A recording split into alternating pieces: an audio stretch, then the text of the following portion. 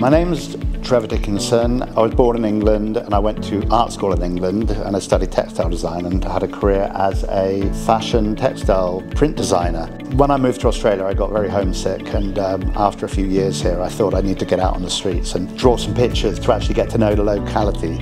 So I just went out with my sketchbook and started drawing in Newcastle. My style, it's all based on line drawing. Um, I think one of my early big influences was um, the artist Robert Crumb, mainly because his, his line drawing is beautiful. He just, uh, it's almost like um, you know, classic etching, but it's you know much looser and a bit more raw.